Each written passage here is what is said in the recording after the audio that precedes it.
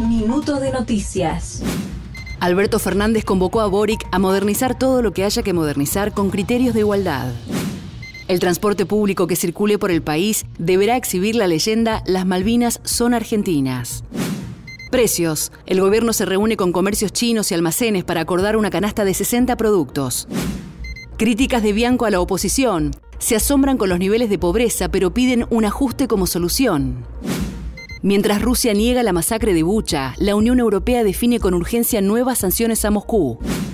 Estafa piramidal. Detuvieron en Dominicana al titular de Generación Zoe y se define su extradición. Derecho de admisión en el Monumental. River prohibirá el ingreso a 319 hinchas por tiempo indeterminado.